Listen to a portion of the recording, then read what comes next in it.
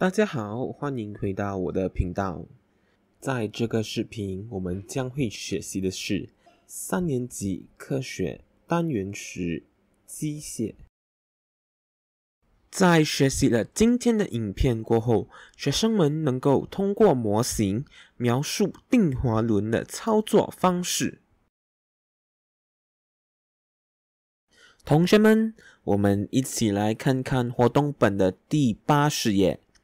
B 项下图显示一个定滑轮。第一题，滑轮是由什么组成的？填一填。我们来看一看 A 箭头所指向的部分，那个是什么部分呢？同学们，A 指的是有槽的轮子。同学们把答案写进活动本里面去。有槽的轮子。然后我们来看一看图片中，B 指的是哪个部分呢？B 指的就是绳子。把答案写进活动本里面。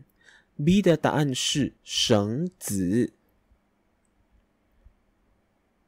另外，值得注意一点的是，定滑轮滑轮的位置呢是在物体和人上面，就像图片中那样。接着下来，我们一起来完成第二题的填一填。来，同学们，在还没有开始回答问题之前，我们一起来读一读那五个词汇。第一个，固定。固定绳子，绳子，槽，槽，重物，重物，链条，链条。我们一起来看一看第一个部分，滑轮是一个周圆有什么的轮子？答案是什么，同学们？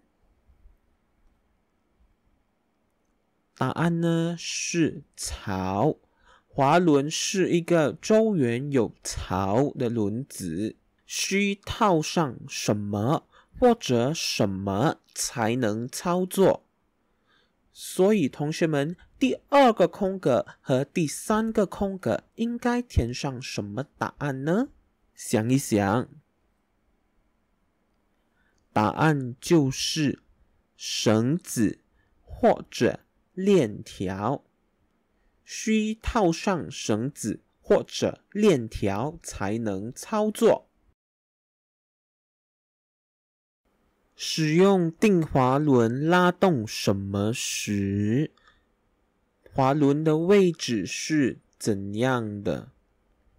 所以第四个空格和第五个空格又应该填上什么答案呢？请同学们想一想。答案就是使用定滑轮拉动重物时，把重物呢写在空格里面。滑轮的位置是固定的，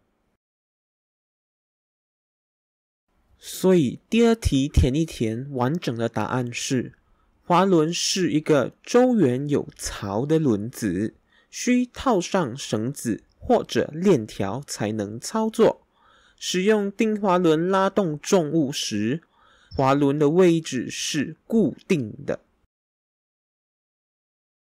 谢谢大家今天的观看。那么，在还没有关闭这个视频之前，请帮忙老师按赞、订阅、分享以及留言这个影片。谢谢大家的合作，再见。